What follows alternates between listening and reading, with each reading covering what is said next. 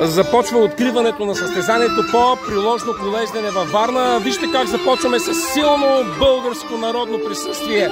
Съюза на българските автомобилисти организира тази проява. На сцената е Мария Томова от фолклорна магия Варна която изпълнява две песни, за да поздрави ето тази група от цяла България участници в тази надпревара по приложно колеждане. Ето ги официалните гости, които ще вземат след малко местата си на сцената и ще ги представим.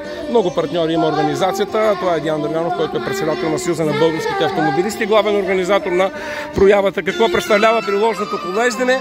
Майсторско владеене на велосипеди. Само това мога да ви кажа.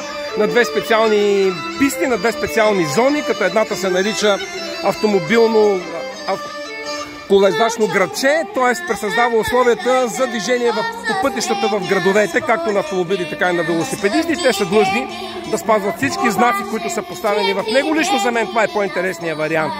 С българска народна музика започва приложното колеждане във Варна.